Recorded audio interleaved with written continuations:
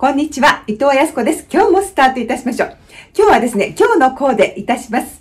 今日のコーデ、今日のコーデ、私の今日のコーデを皆様にご紹介させていただきます。私の今日のコーディネートを皆様にご紹介することで、皆様のコーディネートの参考にしていただきたいと思います。このように、この東京日本橋着物を楽しむ学校は、着物初心者の皆様のお役に立つ情報をたくさん発信しております。ぜひ、お早めにチャンネル登録をなさって、継続してご覧ください。さて、今日の私のコーデですね。今日、今日という日はいつかと言いますと、4月の第3週なんですね。ですから、あと1週間でもう4月も終わります。もうすぐゴールデンウィークになって、どんどんどんどん暖かい日が増えてまいります。そんな時の私の今日のコーディネートご覧ください。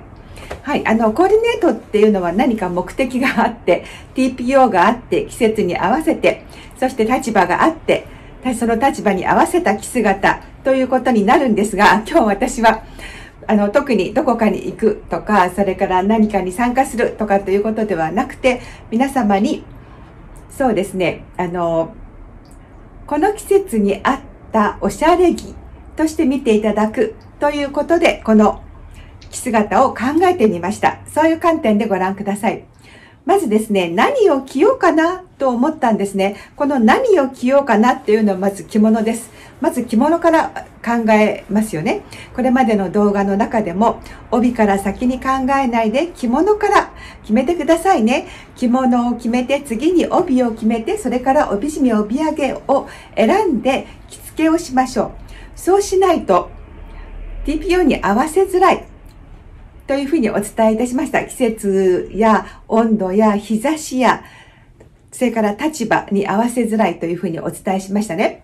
今日の私は、おしゃれ者ということなので、まあ、紬、自分の好きな、あの、私は紬の方が着やすいのでよく紬を着ていますが、どの紬を着ようかなって思ったんですね。で、薄い色というのは結構今まで着ています。でも今日は雨も東京は雨も降っていたんですね。日本橋は、あの、今日は曇っております。そんなどんよりした日差しの中では、あんまり薄いものが素敵に見えない。でも暗いものは暗すぎるし、あ、最近着ていないから、これを着ようかしらと思いました。最近着ていないっていうことで、今日着る着物を決めるってこと結構ありますよね。はい。そういう例としてこの着物を選んでみました。紫のかすりです。染めたのではなくて、織で柄表現をしているということで、織の楽しさをあの表現しているお着物ですね。ですから、まあ、あの、紬好きな人はこういうものが好きです。私も、ああの、この着物結構好きなんですね。ですが、この着物を着ようと思った時に、まず一番最初に考えたのは、柄が多いっていうことを思いました。4月っていうのは、これまでも皆様にお伝えしていますように、冬よりも色数が減る。減らした方がその季節に合わせやすいんですね。そうすると、このお着物って、あの、紫と濃い紫、紫の薄い紫と濃い紫、それから白に近いような紫で、まあ同系色ではありましありますけれども、柄が多いんですね。柄が多いので、もう私の個性に合わせるには、3色で統一するとスッキリすると思っていますが、もうそれぐらいいっちゃってるんですね。ですから、そうすると帯で引くしかないので、帯が無地とか白とかっていうことになるんです。でも白の帯じゃつまんないし、この帯は同系色で色も柄も入っているけれども、これでやってみようと思いました。ですから、柄が多い。そこに対して、この帯、決して、あの、色数少なくない、柄も少なくないので、柄も中くらいっていうことになりました。そうなると、必然的に帯締めと帯揚げは、マイナスのコーディネートをするしかないんですね。マイナスのコーディネートって何ですか？あ、何ですか？はい、それは色や柄を引いていくということですね。色や柄を引きますよ。ですから白とか同系色を置くことで全体の賑やかさを引いていくということなんですね。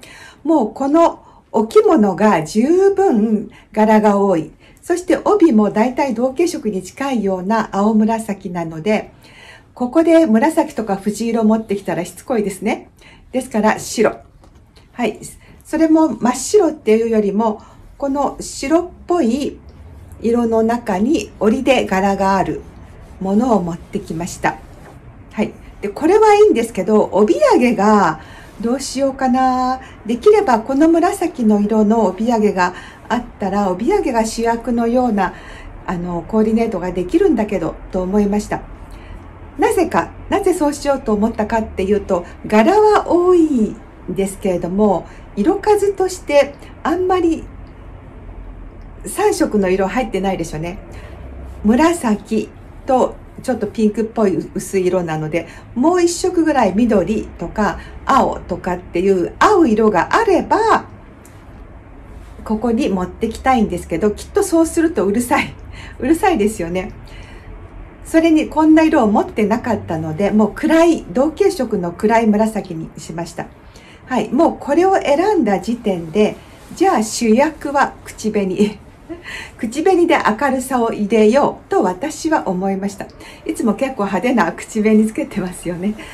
でも、ここに明るさがないので、口紅で明るさを出すと決めて、このコーディネートにいたしました。はい。今日苦労したのは、やはり4月という季節で色数を減らす必要があるので、どうやって色数を減らそうかなと思ったところが、今日の私のコーディネートで一番 あの、宿泊というか考えたポイントなんですね。皆様も今の季節、4月から5月という季節は合わせの季節ですけれども、今までのようにあのコーディネートをなさっているとどうしても色数が増えてしまいますので、マイナスのコーディネートが活躍する季節になっています。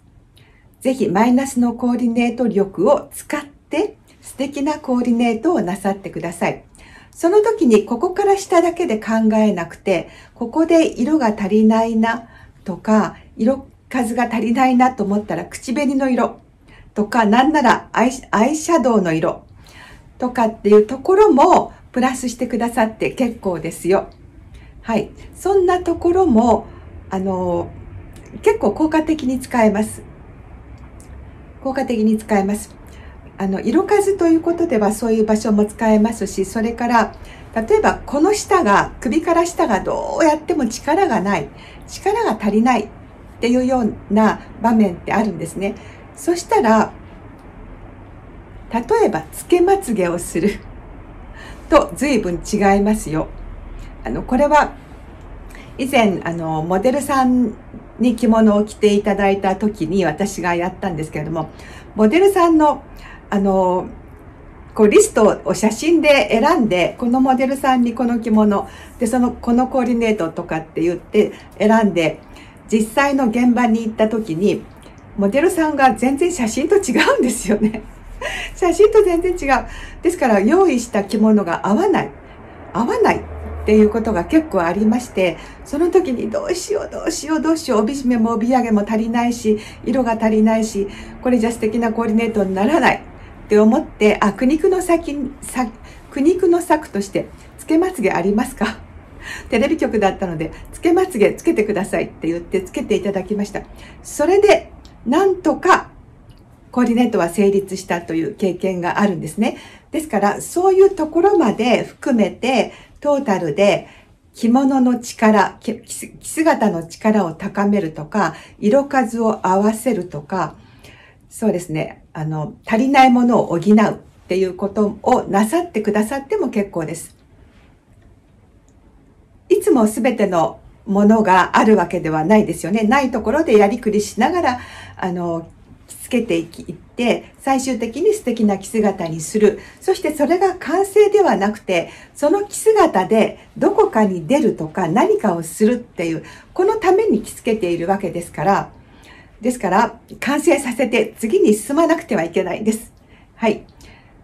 素敵なコーディネートで完成させる、そのための術をこの東京日本橋着物を楽しむ学校でぜひ皆様の力を高めてください。そして素敵な自分を作って着物ライフを一層楽しんでいただきたいと思います。さて、今日の復習です。はい。4月の末という今の季節で注意すべき点、コーディネートで気をつける点は、色数を冬よりも減らすということですね。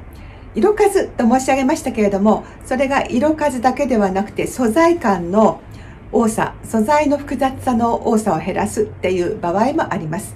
そのようにして全体の着姿を少しクールにすっきりして爽やかに持っていくということが4月5月の季節に合わせることにと、合わせるためには必要になります。はい。ですから、マイナスのコーディネートを使うということが増えてきますので、色数を減らすとか、風合いを爽やかに見せるという力をつけて着物ライフを楽しんでください。はい。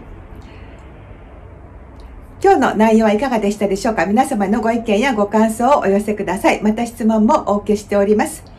今日の着物クイズです。4月や5月のコーディネートは色数を増やす。丸か×かどちらでしょうそれではまた次の動画でお会いいたしましょう。ありがとうございました。またお会いいたしましょう。